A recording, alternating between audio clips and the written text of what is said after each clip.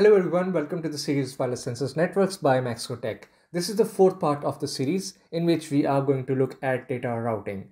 We will first cover the definition which includes uh, what is the goal of wireless sensors networks and what is the solution and how does it works in a nutshell. Then we are going to look at the most popular example of data routing which is finding the shortest path using Dijkstra algorithm. And then moving on we will be looking at uh, in-depth example of how this finding shortest path works in real world scenarios. So let's get started.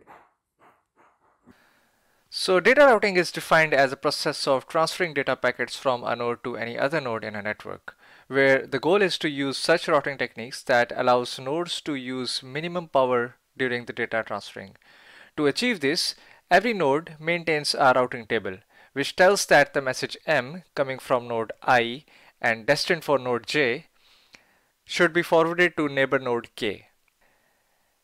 In order to use minimum power, we need to find the shortest path. For that, we will use Dijkstra algorithm again.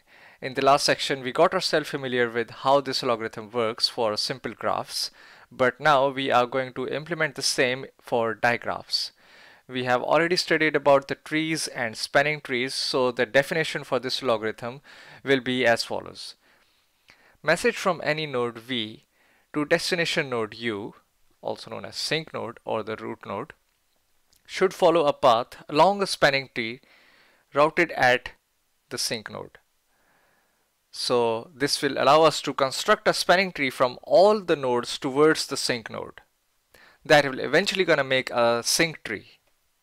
If a neighbor n of the node u knows about a path to another node w, then u discovers a path to w via node n, which can be simply illustrated in this way. Node n knows about w and it informs it to the node u. And eventually we're gonna let nodes tell their neighbors on the shortest path on the other nodes discovered so far. I'll put in the same example graph as we studied in our last section. Routing table is shown in the right for all other nodes directing towards V0.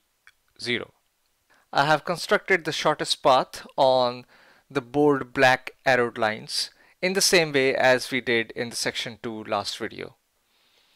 These all entries in the table on the right are showing the shortest routes from the given node to the V0 node, which is our sink node.